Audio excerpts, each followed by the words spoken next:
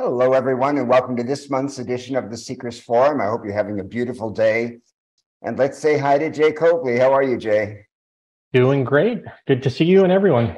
Nice to see you. Welcome. So, this month we are going to be looking at the connection between perception and personal perspective and our own identities. How does perspective shape identity? And also at the importance of maintaining a balanced sense of self that includes not only the body and the mind, but also our spirit or transcendental nature. Now, as most of us know, who we are, this person that we call ourselves, is not a fixed or a static phenomenon. Contrary to what we like to imagine, identity, which derives from the root word for sameness or being the same, is not an indisputable, solid object that's rooted in reality. In fact, identity is a work in progress. It's an evolving creation that arises from an individual's shifting perspective and experience. Now, most of us know this to be the case. The way you see yourself depends entirely on your mood, expectations, biases, judgments, desires, and how you compare yourself to other people.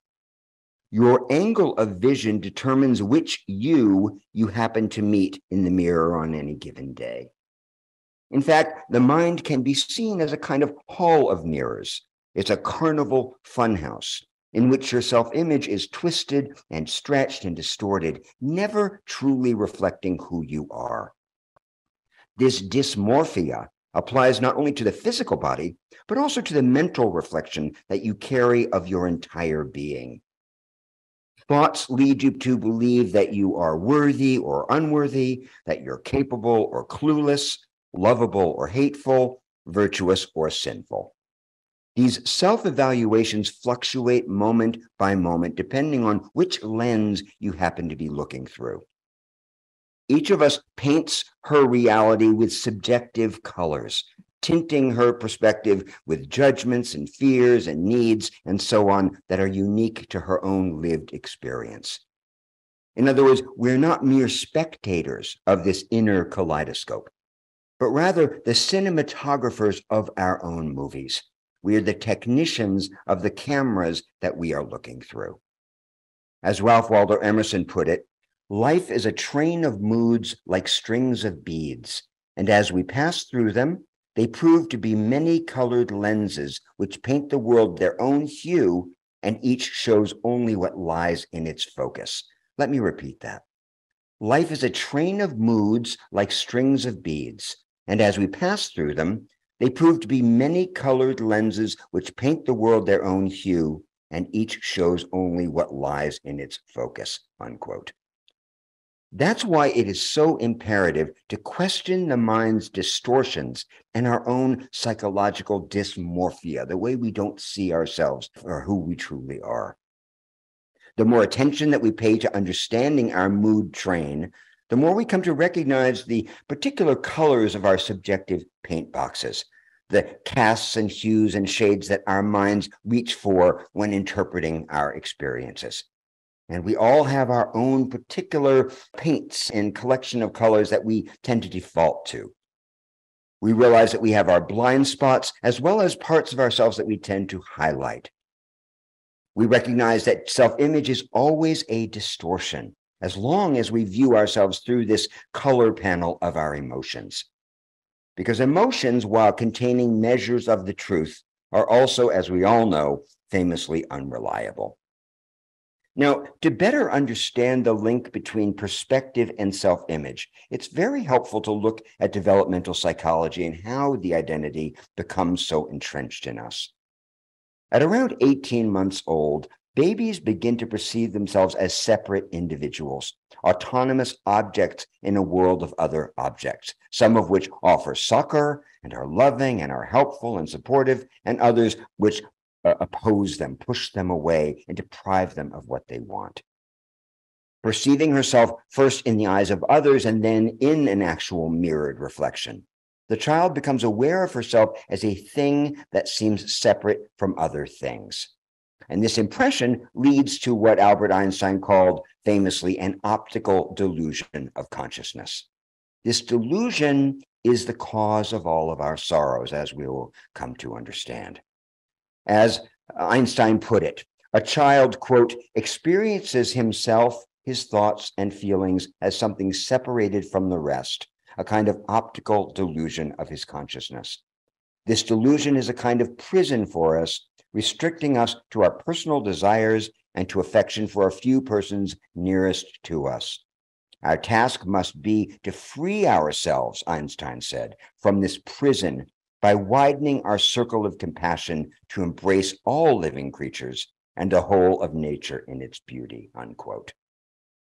Now, language is what enables the child to compose stories to describe herself, stories which appear to reify or make concrete her objectified sense of self. And as time goes on, it becomes harder and harder to separate this story from her sense of identity and who she actually is.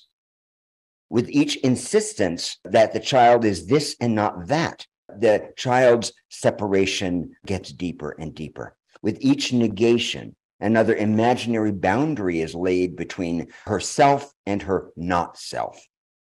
In other words, identity is based on negation, which causes a permanent fracture in our psychology.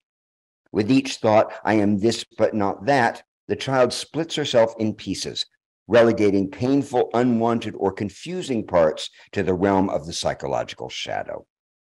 And this is how she carves herself out of reality, so to speak, as a separate thing in her own mind imagining that this daylight identity, the one she shows the world, comprises her whole self, which is, of course, very far from the truth. In fact, a plethora of discarded, denied, undervalued, hidden, avoided experiences have been buried in the not self. These shadow parts are, in truth, as much an authentic part of who she is as the one that she constructs for herself and the world. And that is why it's so imperative on the path of awakening to excavate the contents of our shadow with love and with care, knowing that they don't define us. And this is a key realization. Knowing that our thoughts and feelings, our self image don't define us, helps us to maintain the perspective that's necessary for doing the work of self inquiry. The awareness that this imaginary self, composed of the body mind, having experiences in the world, is but one facet of our true identity, is what liberates us. It's necessary and important to familiarize ourselves thoroughly with this outward self, of course, in coming to understand our own psychology and what makes us tick. But is it the final word on who we are and what we are as whole human beings? Of course not. The bottom line is that we are spiritual beings first and foremost. Our bodies and minds, the physical and mental forms that we treasure, emerge from the formless. They come from the fertile emptiness of the transcendent, the spiritual dimension. In other words, we are both the word and the silence. We are the form and the formlessness. When we forget the silence from which we emerge and identify solely with the noise in our minds, we wander in ignorance throughout our lives like amnesiacs or like victims of mistaken identity. And that's, of course, how the vast majority of us go through our lives. It's the consensus reality that we have inherited as citizens of this age of scientific materialism. But it is not a view that's based in wisdom or spiritual truth. And what's more, we know this, all of us, in our own deep experience. Most of us are profoundly aware of the transcendent part of ourselves that lives in silence and fullness, far away from the prying eyes of the world. It's the self that's with you when you open your eyes in the morning, before you remember who you are. You know that moment when you open your eyes before consciousness has rushed in to create your identity in your world? You know, when you're simply being? It's the self that's revealed in meditation through moments of rapture in the presence of beauty. But when the mind seems to stop and you're simply there, watching, breathing, feeling communion with the passing spectacle of your life. When you learn to rest in these moments and invite them through practice, through ritual, you strengthen this deeper sense of identity that isn't entirely of this world. The identity that isn't bound by your name or your past or the idea of yourself that exists in your head. That self, that larger self, is free and attentive and easeful. It watches the personality self with amusement on good days and with despair on others. This larger self tries to influence the choices of the smaller self. It tucks it, the smaller self, in at night, so to speak. But like any good parent, it learns to stay out of the way. And that's because the spiritual self knows that the personal identity, the ego bound self, will never be happy. It will never be whole or completely satisfied because this little me idea is built on separation, negation, cutting the world into opposites of me, not me. The transcendent self knows all of this all too well.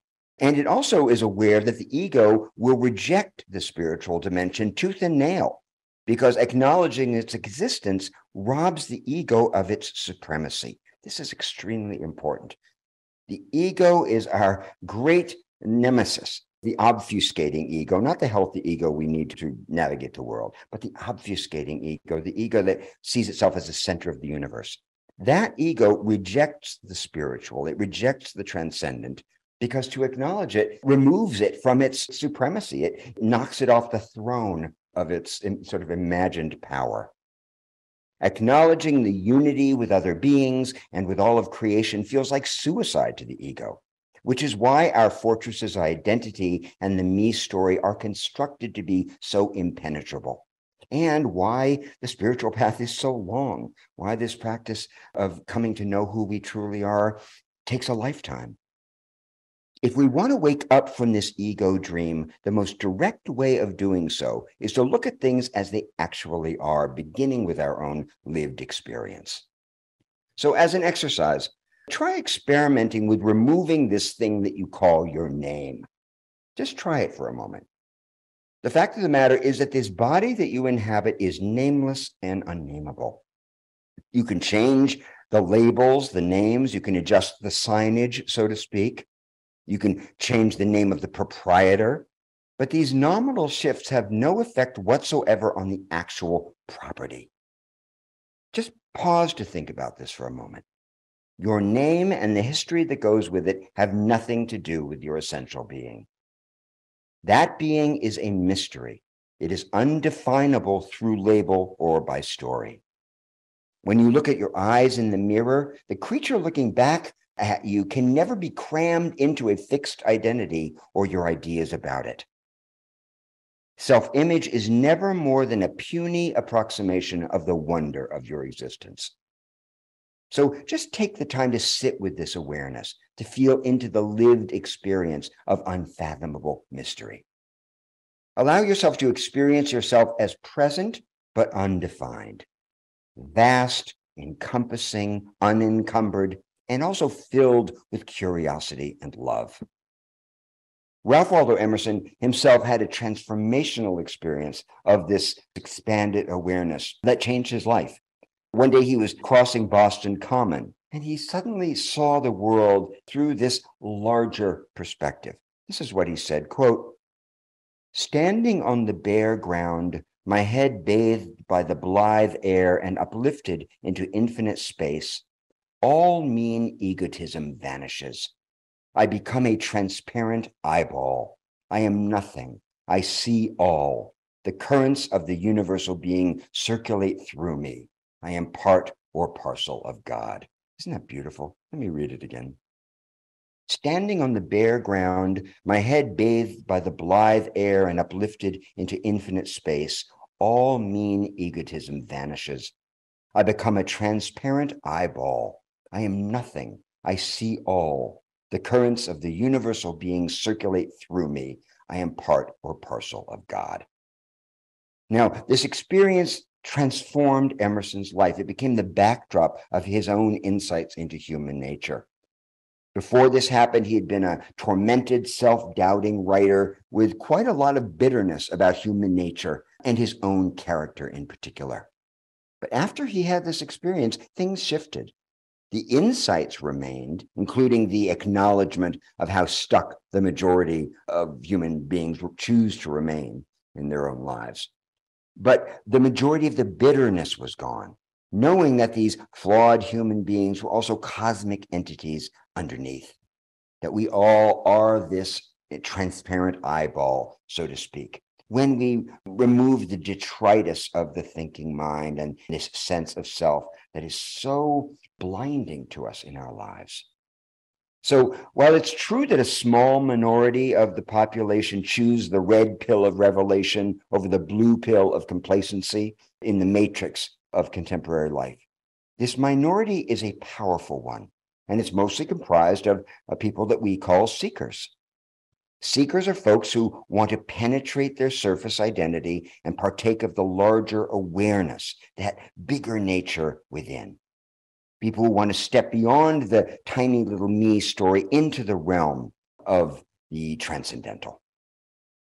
Individuals who make this imaginative leap beyond the confines of their personal myth, either voluntarily through practice or involuntarily through some kind of crisis or adversity, come to see how arbitrary their personal fictions actually are. They come to perceive how their minds create stories automatically in the same way that a bird creates song and apples grow out of an apple tree. Awakened from the sleep of the small self, the seeker finally comes to recognize her fictions as fictions, which gives her the freedom to change them. She learns to integrate her spiritual awareness into the characters she plays in the world, which allows her to play her roles with more freedom, more passion, more elan, knowing that they don't define her. And that's a paradox. Many people think, oh, if I connect to my spiritual nature, I'm going to lose what's particular and unique about me. But of course, that's not the case at all. When we're aware of the transcendent behind us, we're not as attached and we can play with more freedom and more imagination and more creativity. In fact, we grow far less afraid of losing faith or face and sacrificing our reputation. So when we're severed from the belief in a separate will generated self, we know that we are subject to universal laws and forces that are far beyond our reckoning. That's really the point. We're fluid, changeable, adapting, evolving, and impermanent. And this insight into how we create identity changes how we relate to our own minds. We're no longer duped by our personalized narratives into mistaking ourselves for the, the composed self, the narrative self, the tiny little me fiction. So ask yourself, how does perception affect your sense of identity? Do you factor in the spiritual when it comes to your self image? Are you aware of the particular colors of your mind, the way you tend to frame and shade experience?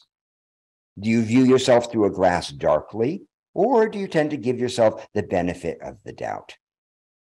Are you trapped in narratives that are based on false assumptions or past experiences that are harmful or self hating or irrelevant? And finally, when you look at your life through the eyes of love, seeing yourself as God or the Buddha mind might see you, how does that change your relationship to yourself and what seems possible for you? So, Jay, why don't we pull up the card and do a little bit of writing? Here we go. I'd like you now, please, to take 20 minutes to write about which aspects of your so called identity are based on cover ups, fantasies, or misperceptions. Which aspects of your identity, your self image, seem to be based on cover ups, on fantasies, misperceptions, or out and out lies? Be as specific as you can be, please. 10 minutes in, Jay will open up the breakout rooms if you'd like to join a group. Otherwise, just keep on writing. 20 minutes.